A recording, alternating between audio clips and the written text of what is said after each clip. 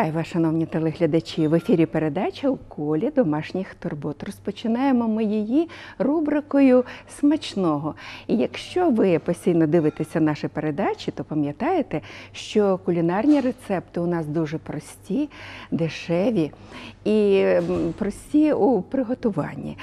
І в цьому нам е, дуже часто допомагав шеф кухар Андрій Білоус. Ми неодноразово їздили у місто Сатанів, ем, щоб зустрітися там з таким цікавим шеф-кухарем.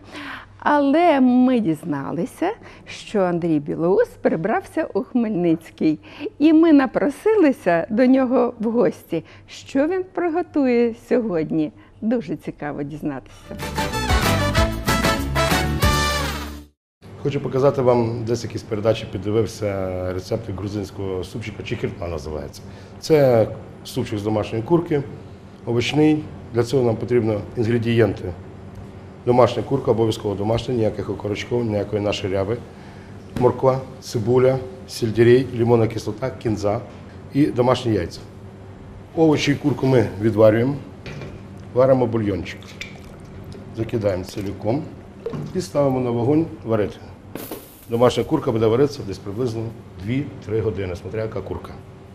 Ну а тим часом, поки вариться курочка, ми готуємо. Нам потрібно домашні яйця. Домашні яйця жовтки. Білки відділяємо від жовтка. Попаде трошки білочка, це не страшно. Це не на бісквіт, ні на бізе, що потрібно, щоб все було відокремлено.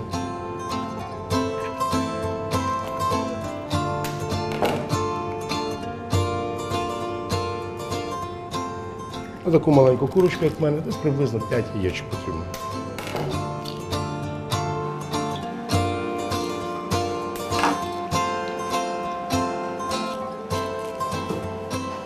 І збиваємо його.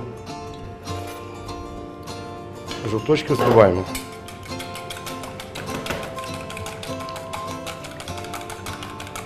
Для чого потрібна лимонна кислота? Для того, щоб коли ми, ми ведемо ці жовточки, заливати в бульйон. Для того, щоб вони не звернулися в гарячому бульйоні. Ну, Можна кислота, можна оцету, але найкраща лимонна кислота, можна сок лимона свіжий. І це ми готуємо вже на заливку. Тим часом нарізаємо кінзу. Обов'язково зелень промита. У мене вона вже помита. Промивайте зелень, тому що дуже багато зараз зелені вирощується в піску, дуже багато бруду на ній. Крупними кусочками не обов'язково дуже міленько.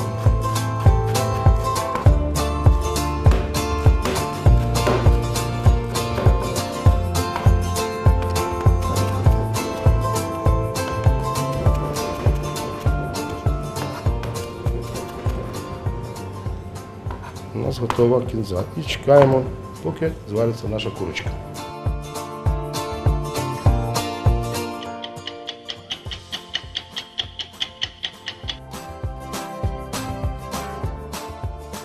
Наш бульйончик курячий договорився.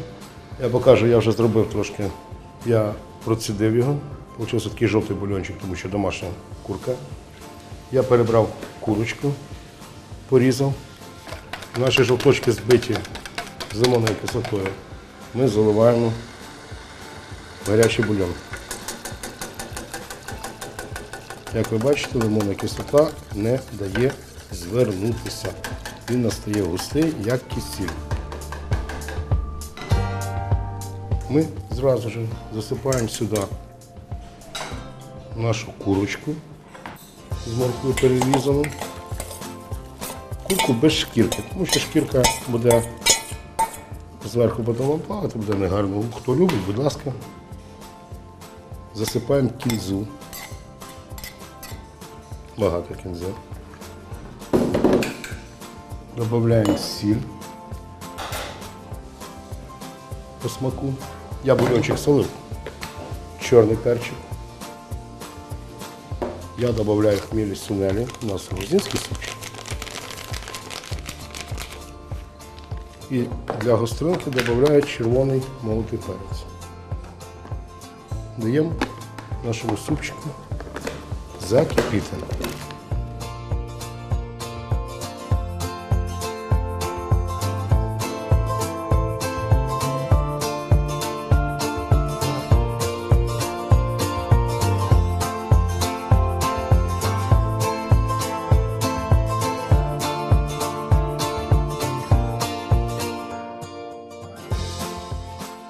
Ну, наш супчик закипів, лимонна кислота не дала нашому жовточкам звернутися. Получився такий супчик пюре. Запах, я вам скажу.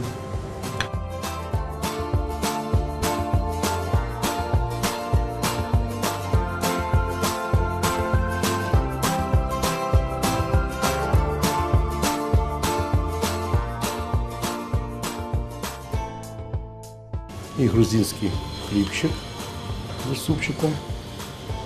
Вам смачного.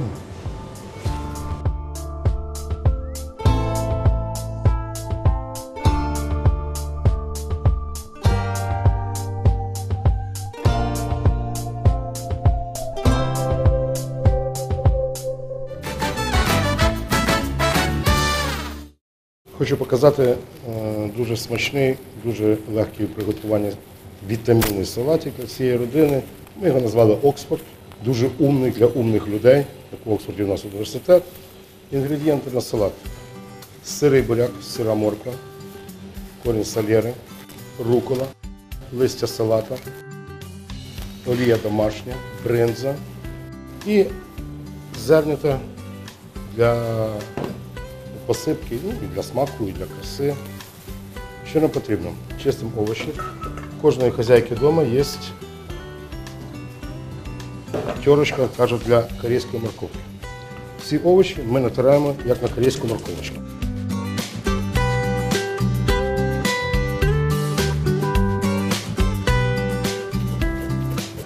Овочі натираємо в рівних пропорціях. Скільки бурячка, стільки моркви, стільки сельдерея.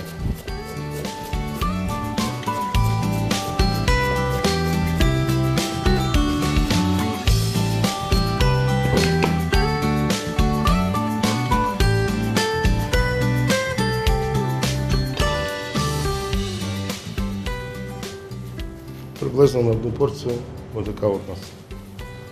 Беремо руколу. Можемо не різати, крупними кусочками.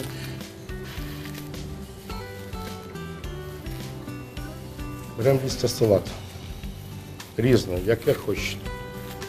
Чим побільше, тим смачніше. Тим паче зараз літо. Це все вітаміни, яких зимою нам, на жаль, не вистачає.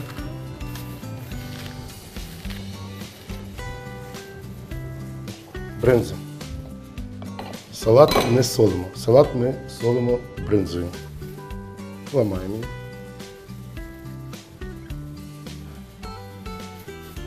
Додаємо олію домашню.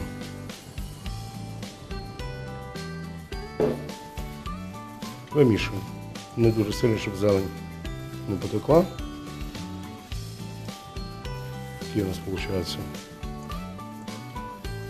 дуже кольоровий гарний салатик.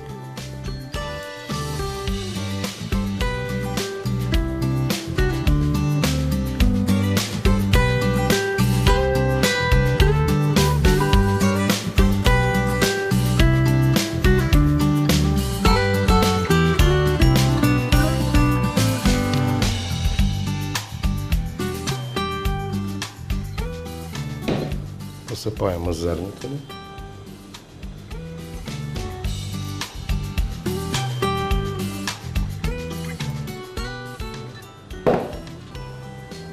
Shalom.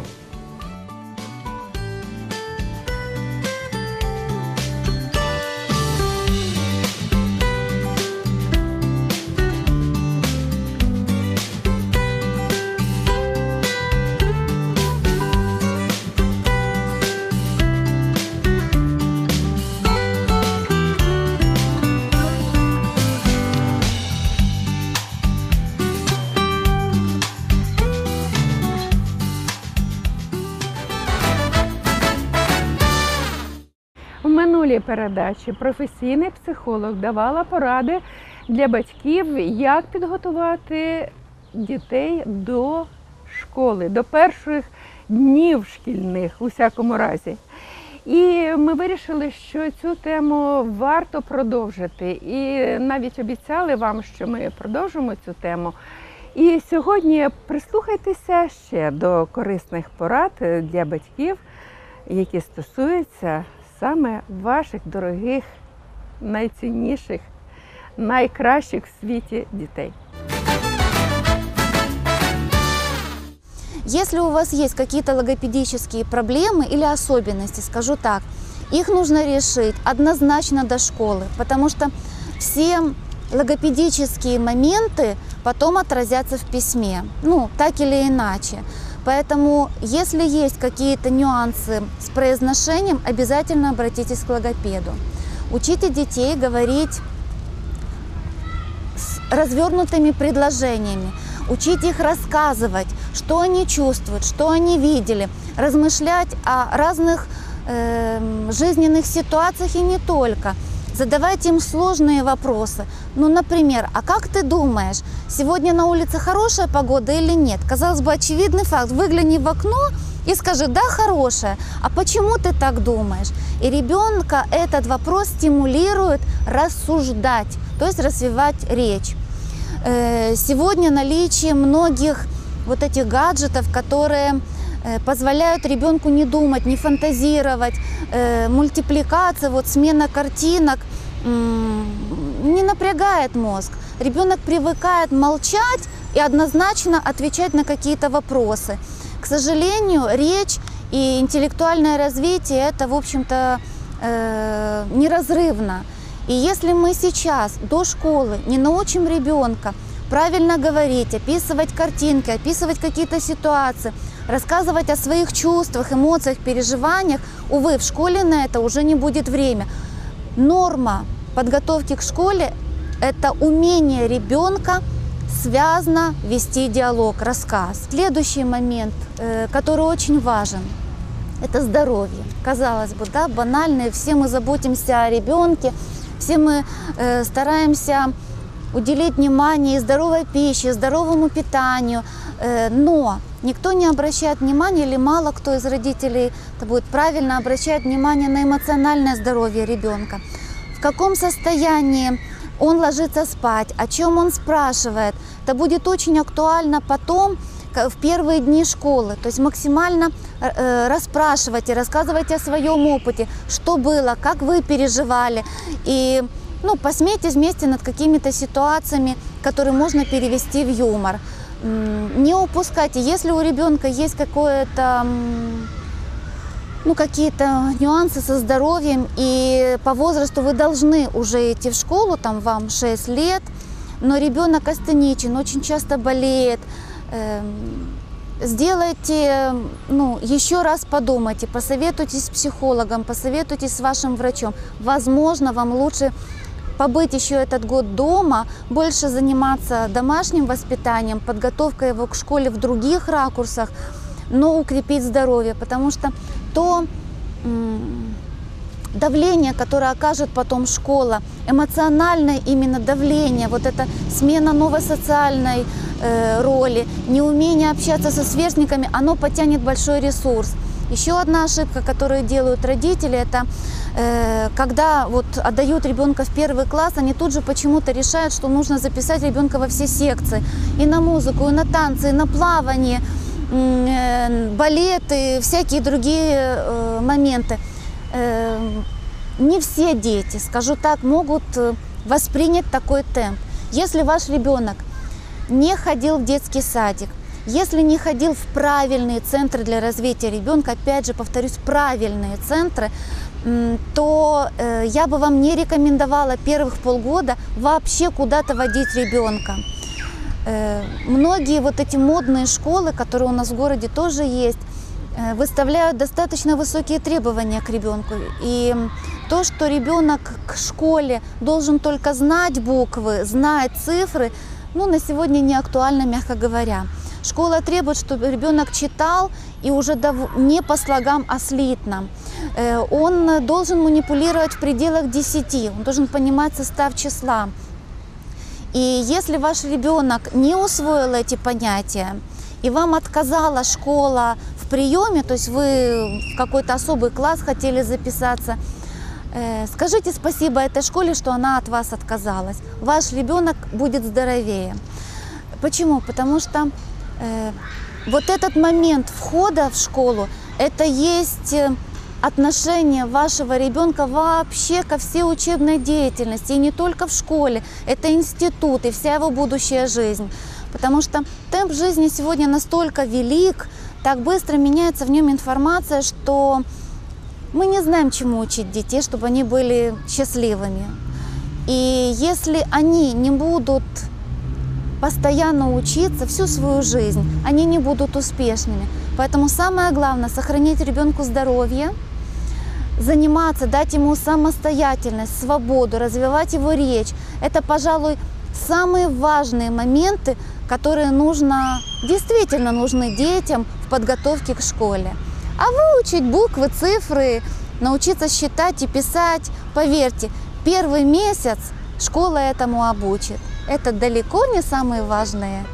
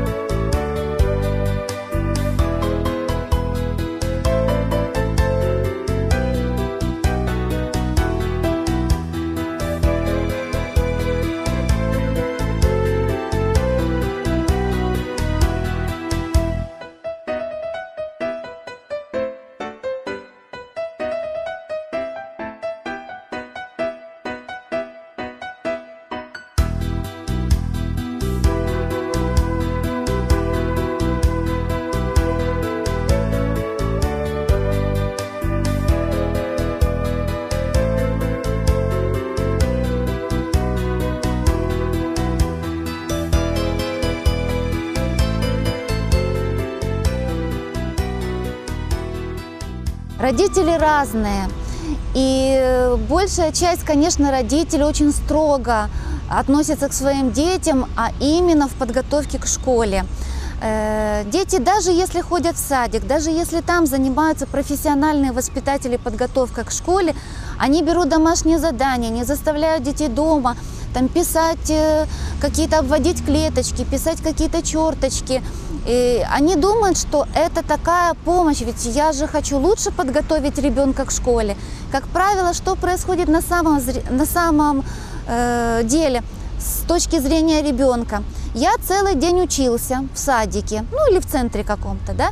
Пришел домой, хочу отдыхать, я хочу играться, я хочу поговорить с мамой, папой, а они что делают? Они садят меня опять за парту и говорят, так, ты не дописал там какие-то рядочки, садись, пиши. Я не хочу, я уже устал, у меня болит рука, я хочу кушать там. Э, И вообще я уже не имею настроения учиться. Родитель, я же ответственный родитель, он заставляет ребенка. На самом деле это медвежья услуга. Ничего кроме отвращения от учебной деятельности в данном случае вы не формируете. И когда вы ребенка говорите в этот момент, вот, пойдешь в школу, ты единственный не будешь уметь писать, то есть вы уже даете ему установку на то, что ты балбес, ты уже не успешный, потому что есть другие дети, которые вот делают лучше тебя. Ну, это ваш ребенок, ваша жизнь. Я вам категорически не советую это делать. Если у вас уж совсем большое желание помочь ребенку в подготовке к школе, или вы тревожитесь о том, что он еще чего-то не умеет, обратитесь к профессионалам, к психологу, к учителю первого класса, куда вы планируете отдать своего ребенка, послушайте их советы. Но из опыта, из большого опыта обучения детей, я вам могу сказать только одно. Нет лучшего средства, чем просто поиграть с ребенком в школу. Просто поиграйте в школу, будьте учителем, будьте учеником, будьте плохим учеником, хорошим, непослушным. И вот те роли, которые вы проиграете со своим ребенком, это куда интереснее. И если вот играя в школу, вы скажете, ой, учитель, он же учитель у вас, я не умею писать эти палочки, научите меня. И вот тогда ребенок, ох, с каким воодушевлением будет учить вас писать эти палочки. И будет вам давать инструкции, что выходить за клеточку нельзя. И это будет куда более интереснее и приятнее для вас, и для вашего ребенка. Еще очень важно научить ребенку пространственному восприятию. Что это такое? Э, Он должен четко понимать, что такое одна минута, он должен чувствовать, что такое одна минута, что такое час, что такое через полчаса, это как? Ведь вот это чувство времени и пространства, оно в принципе формируется, его надо научить. Опять же повторюсь, если ребенок ходит в садик, его это учат. Учат времена года, месяцы, чем отличаются эти временные пространства, как меняется жизнь с течением времени. Их учат, что такое минута, что такое час. Если ваш ребенок не посещает детского учебного заведения, вам это нужно научить. И вот когда вы начинаете какую-то учебную деятельность, например, давай садимся, там, почитаем или будем учить буквы, то купите себе песочные часы минуту. И тогда ребенок точно понимает, что вот эта минута, и вы вот ровно минуту читаете. Казалось бы, банальная вещь. Для нас, для взрослых, это ну, абсолютно очевидные вещи. Мы-то уже понимаем время и пространство. Но для ребенка это совершенно непонятно, что такое минута, как это долго будет.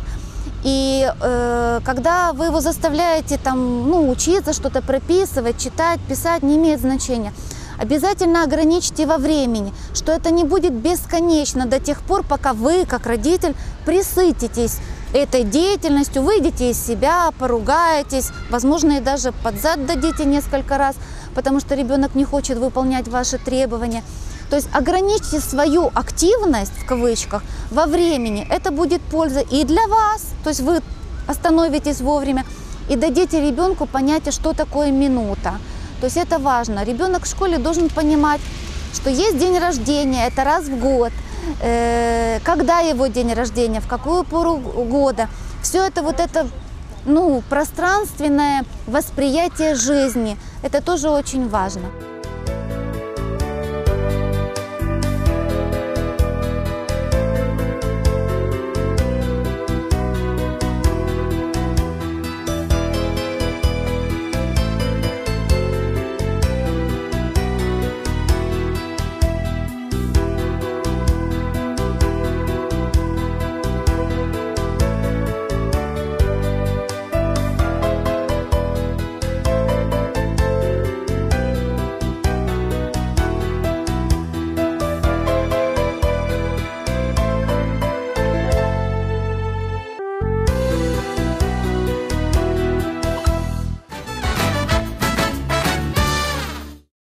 Наша передача добігла кінця.